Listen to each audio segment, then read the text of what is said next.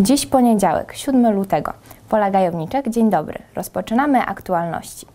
Pandemia koronawirusa zmusza nas do wykonywania testów na zakażenie. W Szczecinku funkcjonują trzy punkty pobierania wymazów. Szpitalny punkt cieszy się największą popularnością, a na pobrane wymazy oczekuje się na zewnątrz pomieszczeń, niezależnie od pogody. Starosta wyjaśnia, dlaczego tak się dzieje. Są pewne zasady, których nie możemy e, jakby pominąć, bo w tym okresie takim zimnym, czy, czy jak mrozy były, sam się zastanawiałem, czy tam nie postawić namiotu, czy, czy nie przenieść tego do jakichś innych pomieszczeń, no ale z drugiej strony, jeżeli byśmy tych, te, te osoby, które przechodzą badania, chcieli umieścić w pomieszczeniach, no to siłą rzeczy wtedy przebywa obowa, osoba potencjalnie już zarażona z tą, która robi wynik, a nie jest zarażona. I w konsekwencji byśmy generowali jeszcze jakieś ogniska e, zapalne, zapalne takie związane z zarażeniem się. Więc po to między innymi te kontenery, aby jednak oddzielić potencjalnie chore osoby od osób zdrowych albo osób, które są chore, ale na inne choroby, a nie, a nie na COVID. I oczywiście też były sugestie dotyczące tego, że na przykład te, te, te, te dokumenty, które się składa, trzeba, można było pobierać z internetu i sobie przygotowywać. Tylko, że absolutnie ja już rozeznałem tą, tą sytuację również w tym zakresie, z próbką idzie wypełniony y, y, dokument i osoba, która przyjmuje tą próbkę jakby też weryfikuje, czy to wszystko zostało właściwie i dobrze przygotowane. Następna rzecz to osoby często mają umówioną godzinę, jest umówione na godzinę 8, a już od wpół do 20 po 7 stoi i czeka, tak? Albo umówione na 10, a już od 9 czeka. Do nas też przyjeżdżają osoby spoza powiatu szczecineckiego, nawet z Kołobrzegu, z Koszalina, z Bo tu jednak mimo wszystko też niby się czeka, ale krócej się czeka. Więc jeżeli oczywiście ktoś tutaj krytycznie mówi o, o tym, że to mogło być lepiej inaczej, e, to też trzeba wziąć pod uwagę, że są określone wymogi związane z tym, w jaki sposób się pobiera te próbki, jaka jest ten taki reżim mm, sanitarny. E, poza tym, no siłą rzeczy, no, do tego wszystkiego trzeba, trzeba też pracowników. Ja w roku ubiegłym miałem e, sześciu żołnierzy z obrony terytorialnej. W styczniu miałem strażaka z tutaj z ośrodka szkoleniowego w Bornym Sulinowie. Od początku roku nie mam żołnierzy z obrony terytorialnej, bo oni stoją na granicy polsko-białoruskiej. Wystąpiłem do pana wojewody o, też o delegowanie tego, tego strażaka. E, e, jeszcze nie mam decyzji. E, wspomagam się też pracownikami w robotach publicznych i wczoraj dosłownie zdecydowałem, że 15 osób do różnych prac w szpitalu, takich zabezpieczających, takich, którzy tam gdzieś pilnują jakiś śluz, zostanie uruchomione w robotach publicznych i pracach interwencyjnych. No i to jest taki ogólny, ogólny problem. Wydaje się, że dzisiaj e, faktycznie ktoś, kto to jakby korzysta z tego, no by chciał być obsłużony teraz, zaraz, już, już w tych, e, natychmiast. Pobranie próbki to jest około minutę czasu, tak? Wypełnienie tego oświadczenia, no często jest niestety tak, że, że osoby zastanawiają się, czy, czy, czy, czy nie mają dowodu, albo zastanawiają się, mm, jak coś źle wypełnią, więc sami musimy w stosunku do siebie być tacy dosyć mocno opisani, by, być solidni. Jeżeli jestem mówiony na godzinę dziewiątą, no to nie przychodzę o wpół do ósmej, bo nie ma sensu akurat, tak? bo ktoś wcześniej był umówiony na określony czas, a wtedy będzie nam po prostu łatwiej, ale cierpliwie musimy mm, no, wyczekać e, trochę, e, bo każde z tych osób, które przychodzi, chciałaby być jakby jak najszybciej obsłużona. I jest tak faktycznie, bo ja często sprawdzam, nawet przejeżdżam, zachodzę, patrzę, jest tak, że jest kolejka 5, 8, 10 osobowa, a jest tak, że dosłownie idzie się i z marszu e, e, można e, te próbki pobrać.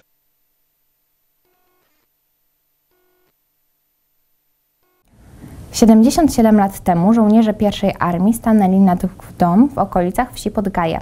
Trzydniowy szturm na wieś zakończył się sukcesem, ale odkrył ponurą prawdę.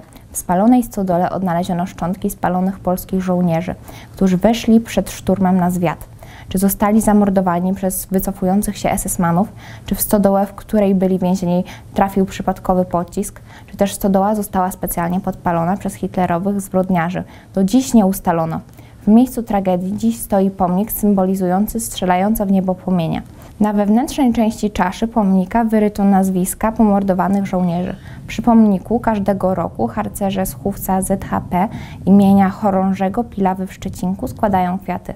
Chorąży Zdzisław Pilawa zginął w Podgajach w tej stodole.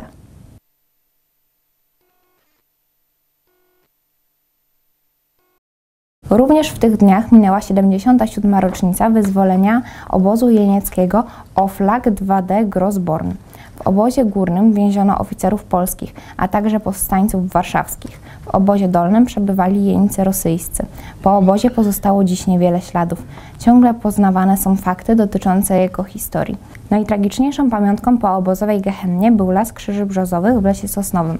Ten cmentarz kryje prochy kilkunastu tysięcy zamordowanych w obozie jeńców. Jeńcy, których wyzwolono w styczniu 1945 roku, udali się pieszo do pobliskiego Jastrowia. Jednym z wyzwolonych był pisarz Leon Kruczkowski, który swoje przeżycia opisał w dramacie Pierwszy dzień wolności.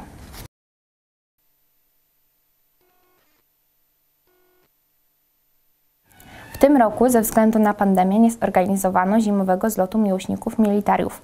Pandemia jednak nie zniechęciła militarystów do zimowego spotkania.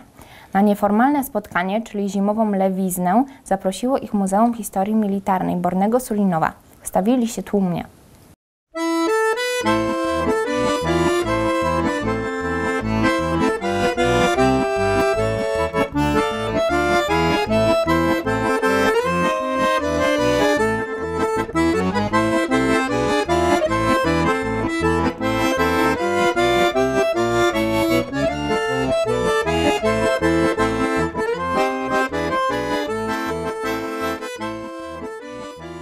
Lewizna 2022, na czym polega? Generalnie lewizna, jak sama nazwa wskazuje, wszyscy urywamy się z łańcucha i przyjeżdżamy do Bornego na lewiznę, żeby spotkać się ze znajomymi. Traktujemy to nie jako zlot, tylko jako tako miejsce i e, ten wspólny czas w okresie powiedzmy jednego weekendu, gdzie możemy się spotkać ze swoimi znajomymi o wspólnych pogadaniach, o wspólnych nowych planach na nowy rok, dlatego też to się dzieje w takim, a nie innym okresie. Nie mylić to z żadnym zlotem, jest to najzwyklejsze spotkanie pasjonatów, bo kto jakże inny jak pasjonaci spotkałby się w taką pogodę i zobaczcie, każdy ma uśmiech, tak? O to- nie przeszkadza. w ogóle nie przeszkadza, a nawet pomaga w tym, żeby nie było tu tak zwanych cywili, czyli osób, które, którzy się tym nie interesują. To jest właśnie spotkanie, którzy tą pasją po prostu żyją. I stworzyliśmy to miejsce, czyli e, powiedzmy taką lewiznę, gdzie można się tutaj, że tak powiem, spotkać i wspólnie w własnym gronie przyjaciół, e, że tak powiem, tak jak mówiłem wcześniej, wymienić poglądami, pobawić się w takim trochę większym gronie niż domówka, tak.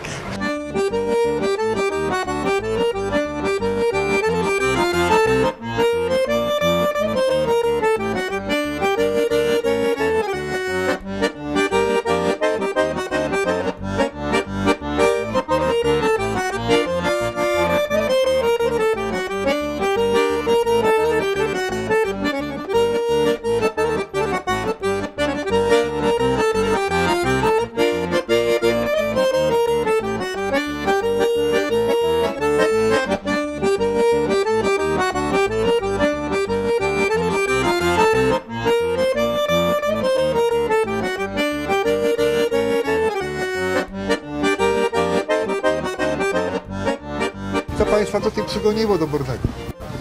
To co zawsze, fajna impreza. Zjeżdżają się ludzie z całej Polski, którzy mają zamiłowania militarne i się fajnie integrujemy. Taka pogoda. Nieważne, pogoda jest nieważna, proszę pana. Ale w zeszłym roku było minus 20 chyba, pełno śniegu, ale też była fajna impreza. No właśnie, minus 20, bakterie umierają, zdychają, nie ma ich, a dzisiaj Dzisiaj też nie ma. Na pewno. Nie ma, panie. Gdybyśmy się bali, to byśmy nie przyjechali.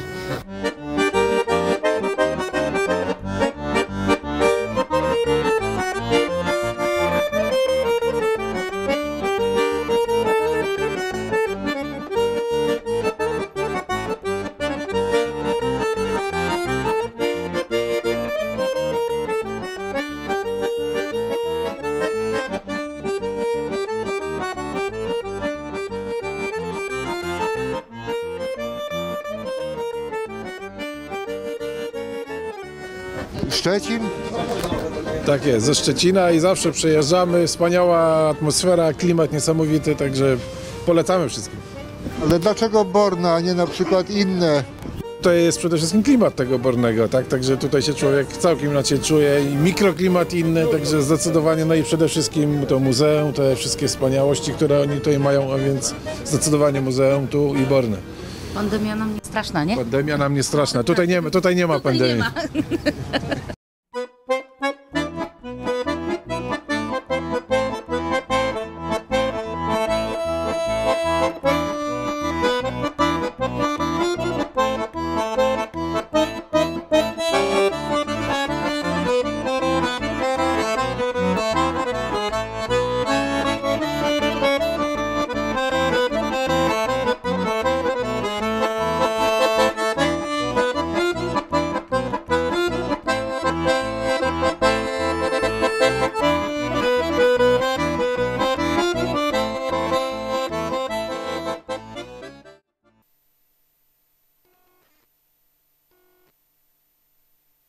Staramy się poruszać w obrębie tak zwanych hitów festiwalowych, a więc pokazać Państwu wszystko, co najważniejsze w światowej kinematografii, ze szczególnym uwzględnieniem filmów, e, o których rzeczywiście można powiedzieć, że niosą z sobą coś więcej niż tylko walory komercyjne. No i tak się składa, że no, na ogół udaje nam się w miarę szybko sprowadzać te tytuły, które zdobywają najwyższe, e, nagrody, najważniejsze nagrody na festiwalu w Cannes, w Sundance, w Berlinie czy w Wenecji. No i w tym miesiącu mm, możemy się pochwalić kilkoma tytułami, które rzeczywiście pokazano na najważniejszych festiwalach sztuki filmowej organizowanych na całym świecie. Za nami już e, najnowszy film Paula e, Thomasa Andersona, Licorice Pizza, e, a przed nami z kolei kilka tytułów, o których za chwilę powiem. W drugim tygodniu lutego zapraszamy Państwa na film Daniela Brilla, znakomitego aktora, którego mo mogli Państwo podziwiać chociażby w filmie Quentina Tarantino Bękarty Wojny. Tym razem zdecydował się na nieco inną aktywność, stanął za kamerą, wyreżyserował film zatytułowany 11 Poznaj sąsiada swego. E, Świetny komediodramat, rzeczywiście taki bar- przeznaczony bardziej dla wymagających widzów, którzy oczekują od y, komedii czegoś więcej niż rechotu. E, Ciekawa e, próba spojrzenia na dwie różne postaci, dwie zupełnie różne od siebie postaci światopoglądowo, zderzenie dwóch osobowości, dwóch mentalności. Co z tego wyniknie, zobaczą Państwo na najbliższym seansie e, DKF-owskim. A na zakończenie lutego, no bo jest to bądź co bądź nieco krótszy miesiąc, proponujemy premierę, w zasadzie taką dystrybucyjną e, premierę, bo jeszcze, mm, czy przedpremierę, ponieważ dystrybucja tego tytułu dopiero odbędzie się w, kwietniu 2022 roku. E, Jest to film, e, debiutancki obraz węgierskiego reżysera Denisa Nadzia, zatytułowany w, w mroku, w ciemności. To, to jest różnie jeszcze tłumaczony ten film. W każdym razie no, nie ma jeszcze oficjalnego takiego tytułu dystrybucyjnego, więc ci z Państwa, którzy e, lubią węgierskie kino, jest to film wojenny, od razu uprzedzam, e, dość wstrząsający sposób opowiadający o losach węgierskich żołnierzy e, w czasie II wojny światowej, a więc zupełnie inna perspektywa, jeśli chodzi o polskiego odbiorcę, patrzenia na II wojnę światową, chociażby dlatego, że no, Węgry walczyły po stronie Adolfa Hitlera, więc warto z ciekawością zobaczyć, jak Węgrzy rozliczają się z tym elementem swojej tożsamości narodowej, swojej historii. E, Film zdobył naprawdę znakomite recenzje nie tylko na Węgrzech, ale również na festiwalach sztuki filmowej, chociażby w Wenecji i w, i w Valladolid. E, Nieźle się e, sprzedaje w samych Węgrzech, na samych Węgrzech, więc, więc wydaje mi się, że może to być bardzo ciekawa propozycja dla tych z Państwa, którzy lubią nieco inne węgierskie kino od tego, które do tej pory mieliśmy okazję Państwu pokazać. No, tradycyjnie zapraszamy w środę godzina 18.30. To była ostatnia informacja w dzisiejszych aktualnościach. W dalszej części programu zaproszę jeszcze do oglądania archiwizji, w których cofniemy się do lat 90. Ostatnią pozycją programu będzie magazyn telewizji lokalnych i regionalnych. Do zobaczenia.